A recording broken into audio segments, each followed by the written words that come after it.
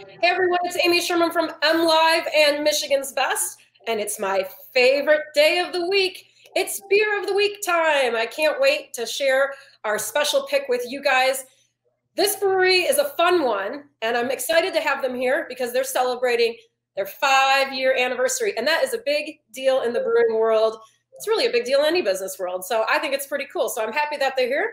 Please help me welcome. Hi, guys. I've got Mr. Buck Dubrow, who's the brand manager, and then I've got Ben Tabor, who's the owner of Grand Armory Brewing, located in Grand Haven. Welcome, guys. Hi, how are we doing? doing great. Come on, let's have some enthusiasm. It's time for beer. Oh. yeah, yeah, good to see you. Hello, M Live World. Thanks, guys. Well, I am excited to hear more about Grand Armory. I've gotten to visit you guys in Grand Haven a few times, had your beers lots of times, um, but I guess I wasn't aware that you're celebrating your five-year anniversary. That's that's a big deal, isn't it? It's exciting for sure. Mm-hmm. Absolutely. So, Ben, tell us a little bit about the history of Grand Armory. How did you guys get started? Why did you pick Grand Haven? So, um, I co-own Grand Armory Brewing with uh, Ryan Andrews, who is a Spring Lake native here and we were uh, we call ourselves aggressive home brewers. So we were brewing every single weekend, and it got to the point where uh, our my entire basement was full of carboys of beer. My wife said, "You know, you guys got to stop this or get a license." And we figured that was carte blanche to go ahead and start looking for buildings and uh, make this happen. That was on a Friday. By Sunday, we were peeking in every building in Grand Haven. You know what what could work for us here and we were fortunate enough that this uh, the Armory building in Grand Haven was available, and it had the branding, everything wrapped up all into one. We became Grand Armory Brewing in our minds that week, and uh, we pushed, we pushed really hard, but it, it was a beautiful, it, it is a beautiful space that we couldn't afford at the time, and we were really fortunate to make a relationship with uh, Aldea Coffee, who was also looking for a brick and mortar at that same time so we were all able to share chairs, tables, spaces. They were open in the morning, we were open in the evening, and we collaborated during the day. It's uh, it's been quite a ride. Well, Ben, I think for people who haven't been out to, to the Armory building, explain it a little bit because it's a, it's like a mixed use space. So you have the brewery there, you also have the coffee shop. It's it's kind of an interesting concept, especially for a place like Grand Haven. Definitely. I mean, we were definitely the first around this area to do it. Um, we collaborated with not only Aldea Coffee, but with Righteous Barbecue. And we are very complementary businesses. We, uh, we share a lot of the same customers that literally come in in the morning. They might bring their laptop and have some coffee. By lunchtime, they're eating some Righteous Barbecue, and then they're telling friends to come down for live music and have some beers with them by the evening. A lot of our patrons literally hang out here all day. from morning to night. It's like, that's perfect. I love that. if you're just joining us, we are going to be getting to beer of the week soon, and I'm going to give you a little flash of what it might be coming up in a little bit. But we're talking with the boys from Grand Armory Brewing, located in Grand Haven, uh, but with beers and distribution throughout the state, right? Uh, now, Buck, you are you're doing um, you're in charge of, of the brand and selling and all that stuff. How far are you guys distributing your beers now across Michigan? So we're a statewide distribution with uh, eight different distributing networks. Um, and yeah, pushing out uh, four core brands, seasonal and uh, specialties quite regularly, different unique stuff, keeping it fresh, keeping it clean. Do you guys have kind of, and either one of you can answer this, um, maybe Ben, since you're you started as the home brewer, but what is your brewing philosophy at Grand Armory? Do you guys have a certain approach that, that you take to the beers? Well, we tried to do a hybrid. Um, when we had originally opened, uh, I think like a lot of breweries, we said we're going to focus on classic styles and clean flavors. And after time, you have a really solid set of base beers, and you say, I want to add tangerine to that. I want to add apricot to that. And we started having fun with a lot of our brew- brews. So I'd say we do about half and half. We have a, a, wide variety of traditional brews, and then we have a lot of experimental brews that are a lot of fun for us as well. Yeah, you definitely have some interesting uh, flavors uh, that you put together, and, and we'll definitely be um, talking about more of those in a few minutes. But why don't we get to our pick for beer of the week? And it is from Grand Armory Brewing. Boys, it is. Wheezin' the juice, buddy. Did you practice that? Because that was good. Get that regularly around so this is um your version of a, a juicy IPA is what it says on, on the label. Would you go as far as to say that this is a New England style IPA? So we don't market it as a New England. Ours actually pours pretty crystal clear. Um, the reason it's a juicy IPA is because it's a very low bitterness, very tropical drink. And it, this is one of the beers that was created before it was named. Sometimes we have such a great name that we say we have to brew a beer that'll fit that style, but this was quite the opposite, where we brewed a, a very juicy IPA, and my partner Ryan took a drink of it and said, "Wheezin' the juice, buddy," and we all everyone in the room knew that was going to be our new, next big beer. Oh my gosh, I love it. It is really, it's actually really clear. Yeah, it is. It's definitely not a, a hazer here. Right. Mm-hmm. Yeah, I like that. Um, so tell me about how you're making this this beer. Um, what what kind of hops are you using? What uh, I'm looking. I really like your label too. It's very colorful. It looks like a tie dye T-shirt. tie dye T-shirt with a big slushy machine in the middle. Uh, oh, I didn't even see that. We're '90s kids, and we paid homage to the uh, Encino Man movie with Pauly Shore, where he wheezes the juice right out of the slushy machine. That's old school. I like it. Um, the Juice is a, a, low bitterness IPA with uh, mosaic and citra hops, and it is uh, aggressively dry hopped at three different stages in the brewing process. I haven't had this one in a while, and I like like that you said it's a very low bitter hop or bitter IPA, and it is. It's so smooth, and it's there's no punch in the nose. There's no like, it's that's a really easy drinking beer. I would call this a gateway juice. it's our IPA converter. When someone says I don't drink IPAs, we give them a reason, and we can generally get somebody on the IPA train. Yeah, that's really really delicious, boys. I really like that. Why aren't you having some with me? Come on. cheers to beer of the week. this has to be one of your um I, one, it's one of your flagship beers, but it has to be one of your most popular beers, I would think. It is absolutely our most popular beer. Oh, it is the most popular beer. Well, thank goodness we picked it. it's uh, we just doubled down in 2020 in our quality control program. So, um, as a sales rep, how um, how nice it is to go into the market confidently selling beer, knowing that when you taste it uh, this time, the next time, and the time after, it's going to taste the same, just as you remember trying it the first time when you didn't like IPAs. Good call. You know, that's a great point, though, um, Buck, that consistency in brewing is one of the hardest things to achieve and is often very hard for a new brewery to really kind of get under wraps. So it's good to hear that after five years, you guys are fo- still focusing on that consistent quality. Well, and especially during this pandemic, you know, I mean, uh, money's tight. And when you go in to buy a beer after a long day, you want it to taste just like you remember it. And um, you know, ten bucks for a six pack. You know, you want it to taste the taste the same as always was. So uh, you know, we we pride ourselves in in uh, making sure we manage the production properly and continue to invest in the tools that um, really put us at a place to succeed. Absolutely. Well, let's talk a little bit about what you guys have been doing during the pandemic. I know it's been hard for a lot of breweries either to adjust to, you know, not having food or not being able to do takeout. What have you guys been doing and how have you adjusted now that things have started to open up again? Well, in uh, I'll let Ben talk about the tap room um, in a moment, but um, in regards to the pandemic, I mean, we see you know a lot of breweries are seeing influx sales, uh, obviously with package here. Um, and I want to just tip my hat to all of our distributing partners, um, as well as all the, you know, the from the driver that drops off grain in the morning to the uh, distributor that's stocking the shelves at the end of the day. Um, it's combined effort um, so that, you know, it's blood, sweat, and tears, we call it, um, or beer, sweat, and tears um, to beer, blood, sweat, and beers. There we go.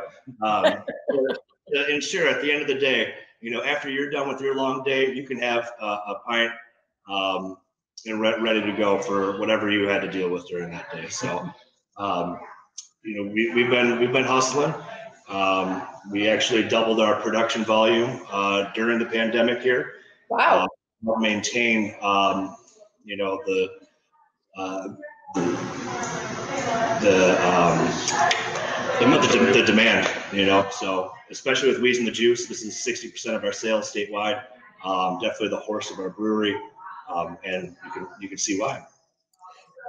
In regard to the uh, tap room here, uh, I know Ben's been busy every day, um, you know, maintaining with whatever regulations we have to we get hit with every couple weeks. So um, Yeah, absolutely. I mean, the pandemic has been definitely difficult. It's weird. Um, you know, and I'd say we've, from the very beginning, we strove to hit the highest marks as far as um, safety and PPP or PPE and um, other things that we had to put in place for to keep our staff and our patrons safe. So we, we had, before it was mandated, started spacing tables, requiring masks when it was just a suggestion, things of that nature. Um, and we were very fortunate. The city of Grand Haven actually allowed us to use eight parking places in the back of our building to turn into a beer garden, something that we've wanted for five years and never had the out space, outdoor space to acquire. So silver lining, I guess. Um, you know, we get to sit out in the sun outside and have a couple of Weezins, which is really nice.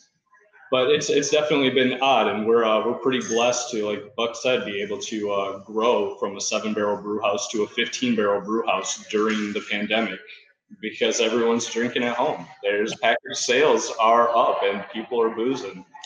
So thank you. I call it forced I do what I can. that's pretty incredible that you jumped that that big of a barrel uh, barrel system up to a 15. That's that's pretty awesome. I mean, that puts you at a whole nother level as a as a brewery um, for the future. And if anything good can come out of the pandemic, that's that's one thing. And I do love. Um, I was in Grand Haven a couple weeks ago, and I love um, what the city has been doing, allowing these outdoor spaces to flourish on, you know, variety of streets throughout downtown. And it's it's something that probably should have happened a really long time ago. And how cool that it is happening now. Absolutely. No, we've heard nothing but positive response from uh, tourists and locals alike. Um, everybody likes the walking town that this has become. It's it's fun. It's you know we live in a vacation town and everyone's getting to soak up the sun here a little bit. It's it's nice. That's awesome. Okay, well, Buck, let's talk about a couple of the other brands that you guys have, a couple of your other flagship beers um, that people might see on the shelves across Michigan. I know I ran out and grabbed one to try, but you have a few other ones that you were going to um, share with our readers. Yeah, while we're on the uh, Wheezin topic, uh, this year, 2020, we uh, released a Segway series uh, called The Grindage. Just running on that Pauly Shore train there. Um, we've got started with a mango in March, and uh, we're on to pineapple currently. Um, and then strawberry kiwi comes out two weeks, uh, August 8th, around that time frame. So um, all these will go through September, and then we'll release all three in October. As a variety pack. Oh, As a fun. So these to look forward to. These are Wheezin' the Juice variants, where we've we've fruited each one differently for a two month release. Hello. I think the pineapple one sounds awesome. That I can just imagine that that flavor would go so beautifully with Wheezin' the Juice. It'd be a really nice combo. It is nice. Ma- mango is my favorite right now, but the strawberry kiwi that's about to come out, I think, is probably going to take my heart. It's it's gorgeous. Oh, true love. Yeah, it is. You better keep keep one can of each for me to try next time I come out to Grand Haven because I couldn't find those uh, in my hometown of Grand Rapids at this time. I'm sure they're here, but I just I didn't find them. They're, um, they're hiding. They're going quick. Okay. so I did grab the um your raspberry ale, which is called Mother Schmucker, which is also a great name. I want to be in your naming like meetings. Well, I'll tell you, Amy, it goes great with our uh, peanut butter stout, the Nutter Your Business. oh, together make a PB and J. Nutter Your Business, Mother Schmucker. Seriously, at these. So what? So this is a raspberry ale, and it's got a great color. Each tree blonde, and then that gets raspberries in secondary fermentation to give it that beautiful red color and that nice but not too sweet flavor. Um, it's not syrupy. It's very drinkable. You still know it's beer, but it's it's uh it's fruity. It's It's fruity. You're, you're right, but it's not sweet at all, which I appreciate. I don't I don't like the beers that are cloying or coat my tongue with you know sugary afterdew or you know, extracts and all that stuff. That's nice. And to go with the, the Nutter Your Business, perfect. They're both at five percent ABV. Uh, we understand how much Michigan likes to or enjoys to drink beer. So uh, being able to enjoy a few of these, uh, kept cold, kept fresh, um, easy drinking, and everyone wins. I like that. What did Wheezin' the Juice come in at for ABV? It's a six point five. Just a little bit more. Yeah, just a little bit more. I like that. Pocket though. Just a little bit more. Wheeze the- People, um, But um, the wheezin' the juice, we decided to make a little bit more accessible at the 6.5 again, so you could have a few of them. I like it. Now, Amy, I don't know if you know Buck created over here, but the Nutter Your Business, Mother Schmucker, which did you do at about a 50% ratio? I did a fifty percent ratio. So this is another thing that's kind of fun. A lot of our patrons come in and they have all their own ratios of that they like their Nutter Your Business mother schmucker created here, whether it's 25, 75, 50, 50. So it's kind of a personalized experience for everybody. And that's why we put the suggestion on the side of the can that it pairs well with the Nutter Your Business. I like that. I remember that when I was at the brewery one time at the ta- at the tap room, they recommended that I could create my own little combo, which I thought is fun. More breweries should do that. I think it's kind of interesting. It creates a whole nother beer, right? Mm-hmm. Yeah, Very we nice. have uh, the Nutter Your Business on Nitro at the tap room here as well. So, you know, doing the black and tan or black and Red. red, you know. Celebrate beer, you know. I like to say, you know, you don't have to let the science or the fun end at the brewery. You come come out to the bar and start mixing stuff up. You're your own brewery, at, your brewer at that point, eh? I won't tell you no. It's a free for all at Grand Armory. A little bit. well, Grand Armory, you're celebrating um, your five year anniversary. What can people look forward to coming out of your brewery in the next five years? Well, we hope for continued growth. I mean, we're kind of one day at a time, especially, you know, things like the, the pandemic kind of put it into perspective that we're just got to keep chugging along at the rate we are here. Um, we've had consistent growth. When we when we opened five years ago, we had a, a modest goal of 365 barrel that year. We, said if we sell two kegs a day, we'll keep the lights on here. And uh, we've sold more than 5,000 barrel the last two years in a row you know, we just kind of keep counting our blessings, and we're fortunate to be in this awesome, fun industry.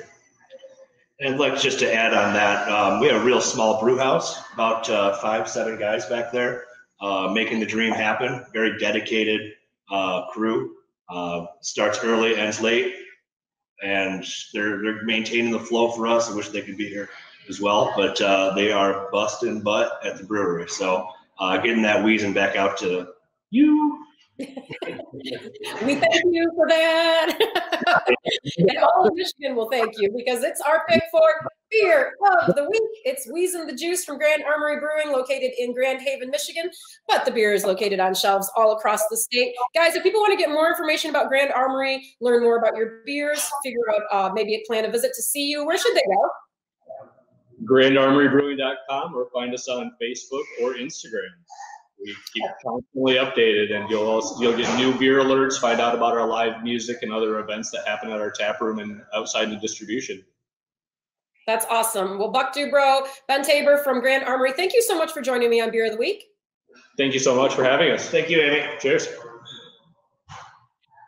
If you want to get more information about Beer of the Week, you want to head to mlive.com.